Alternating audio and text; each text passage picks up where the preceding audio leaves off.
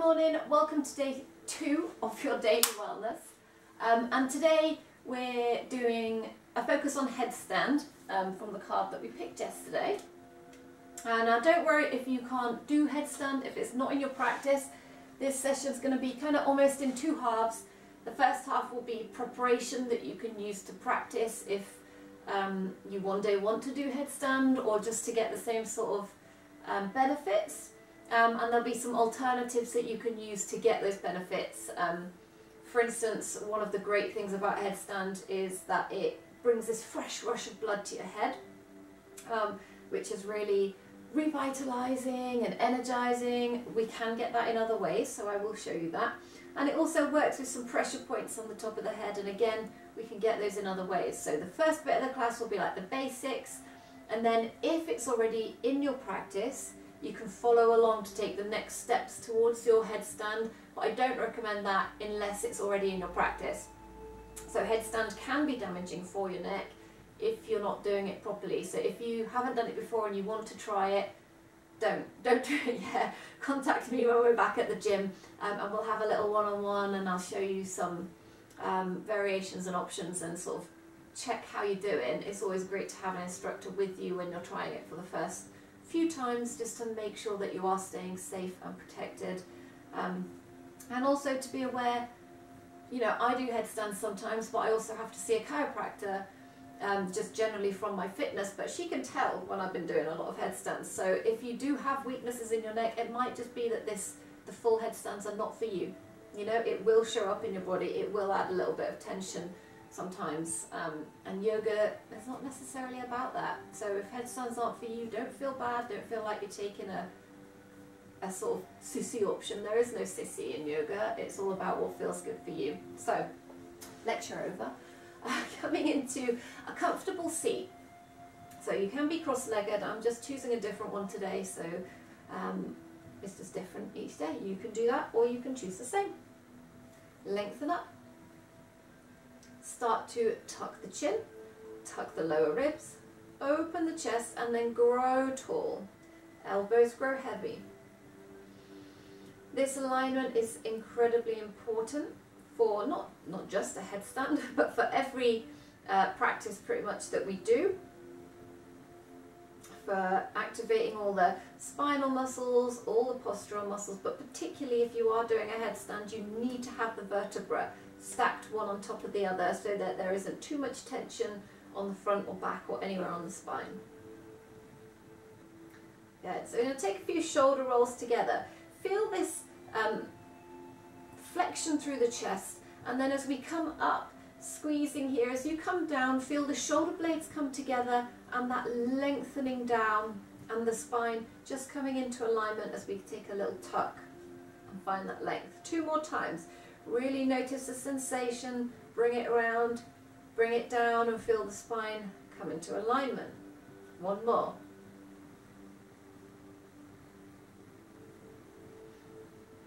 Same with the neck. Take a moment, lengthen forwards, lengthen back. Chin goes forwards, chin comes back, forwards, back. Now make that a little smaller and smaller until you find that neutral point where you feel like the back of your neck is long, the vertebrae are stacked. Take little flexion side to side. We're not trying to stretch the side of the neck. We actually don't want to do that if you're going to be doing uh, work on the head.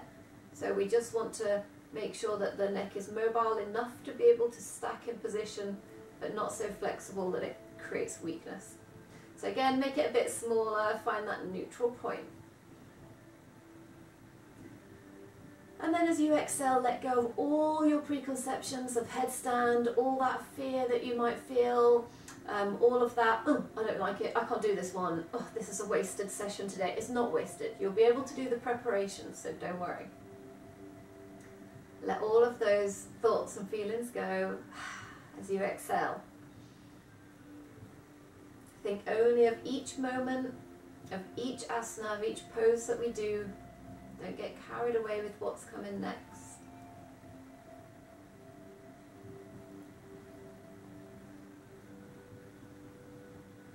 Good. So one of the things that is good with your headstand is this uh, getting the head below the heart. So we're going to take a few options where you can do this, um, where you can start to wake up through the brain. So coming onto all fours to begin with, spread the fingers, oh no socks, tuck your toes under and then start to lift the tailbone. Keep your knees bent, don't worry about that for now. Give your head a little shake, a little nod. Good. And then from here, start to bring in that alignment. So keeping the knees bent as much as you need. Push back through the hands, open the chest, lift the tailbone up as high as you can. Lengthening through the spine, thinking what we were doing, lower ribs in, shoulders back and down, chin tucked. So here we're getting that lovely blood flow down into the head, nice and refreshing. You can give your head a little shake or nod or find stillness. You can start to lengthen down through the heels if you can keep that straight spine. If you feel that, you know, it's too much of a stretch and you, you find that the curve starts to happen, then bend the knees again.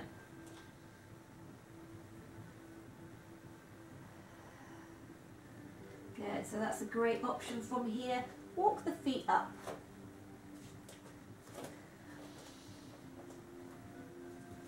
And again, we've got the head down, below the heart, slowly roll it up. Just give yourself a little moment to let it run back down into your body. Take a little reset. I don't know why I did a shimmy then, but hey, if that's how you want to reset, I don't judge. Good. And then again, take it down, chin tucks, follow down. Now bending the knees generously.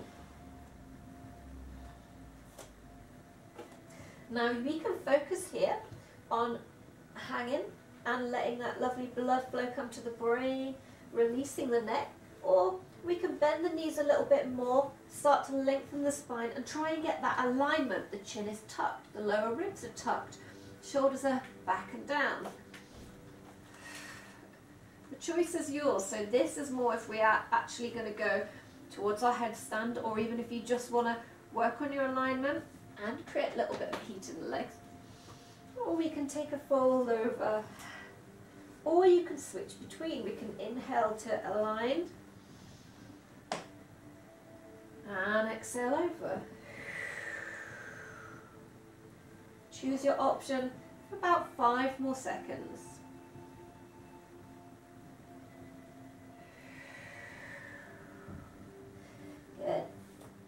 From there we're going to place the hands on the mat, take it back to knees. Take a, a moment in your child pose, so really reach the hands away, separate your knees a little so that we can come down in between. Rest the head on the floor and take one full round of breath now, all the way in and all the way out. Good. From here, bring it up. I want you to place your elbows down underneath the shoulders. Bring the hands together and interlace. And find this strength, so we're pressing into the bottom of the hands. We're pressing into the floor. Find that triangular strength into the floor, the triangular grounding. Send the feet away. Plank pose. Long spine, neck tucked. Feel that firm grounding, that firm foundation. Abs drawn in. Hold for five, four, three, two, Bring the knees in. Take a moment to release back. So doing this plank is good. Or uh, one of the variations of coming into headstand, we use this as our grounding, as our strength. Whenever we do headstand, um, a lot of the weight should actually be in the arms, in the hands, in the elbows, or whichever variation you're doing. It's not just dumping your whole weight on your head.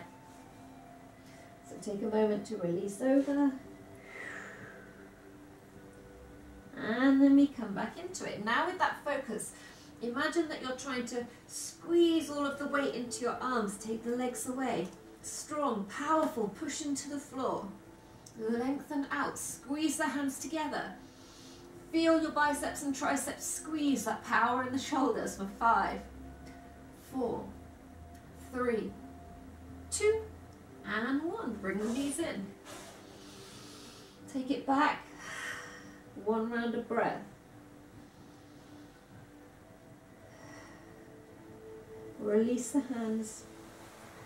Bring it up. Give me a little shoulder roll to reset. Good. Take the hands out, spread them nice and wide under the shoulders. Another form of coming into your headstand will be with this foundation. So the hands will be spread wide, we'll be pressing into the back of every fingertip, every knuckle, particularly into this area of here. We did this yesterday for cat-cow. Strong, we're going to bring them in just a little. Make sure that they're not wider than shoulder width. Okay, walk the knees in. Take the top of the head down to the floor. Now what you want to get is this soft area on the top of the head. A lot of us will automatically kind of come here um, and if we're here we're going to end up with kind of this neck position. You want the alignment which is going to be right on the top of your head. Don't worry, we're not going into headstand yet. So just focusing on getting the top of your head there. Now you will find that your chin is tucked a lot until we get higher. Maybe you don't get higher, that's fine. So here we are hitting that pressure point on the top of the head. Press with the hands, so we're really pushing with the hands and supporting with the hands. And if this is as far as you come today, this bit is fine. If you want a little balance, if your neck is strong, you know that you're good for it. If you're not, work there. Can't stress enough. If you're feeling good, you can start to lift up. You can actually bring one knee to each elbow. Make sure we're on the top of your head and we can hold it here. If you are comfortable here, you can lift up one leg and then the other. You can bring your core in, lock it in, and lift up both feet. That is the more advanced bit for that. Do not lift your feet up if you're feeling tension, if you're feeling too much compression in the neck, if you're new to putting weight on the head in this way. Just practice placing the head on the floor and then bring it up and see how that feels. Maybe take a little head massage, maybe take a little massage through the base of the skull and a little bit of mobility through the neck. So if this is as far as you want to go today, absolutely namaste to you and amazing, great work. What I will do before we go on to the next part of the class is pick our card for tomorrow so you'll all know what's for tomorrow whether you continue with the full headstands or not. Okay, so we have ooh, crow pose tomorrow, which is a balance. Um, but again, there are options for your crow pose for practicing, and we'll actually do some other work tomorrow uh, to go with crow pose. It's um, it's a great one. Um, I can't actually hold that balance, so you'll see more, me wobble around when we do the actual pose, which will be fun.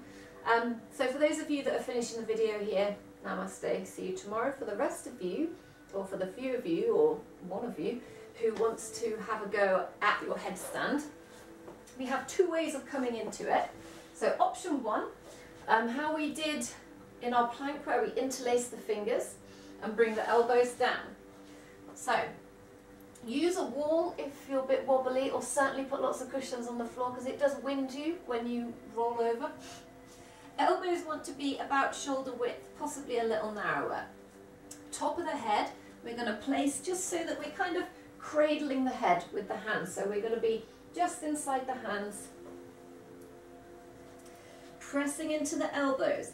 Use the arms to lift. So most of the weight is on the forearms, into the hands, into the elbows.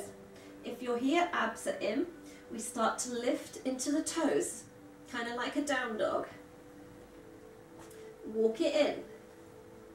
You will get to a point where it almost feels natural to start lifting off a little bit. Now, we do not kick up, okay? You want control every step of the way. So we don't kick the feet up when we come up, we use the abdominals to pull yourself into alignment, okay? So if you're with me this far, if your neck's feeling strong, if this is in your practice already, I can't stress enough, if you're new, do not do this next bit. If we're up, we walked it in. Use your core. You might find that you're in and out. This might be far as you go. Or maybe you hit the wall, I find it. You try and control. Maybe you just keep hitting the wall, like I'm clearly going to do on camera today.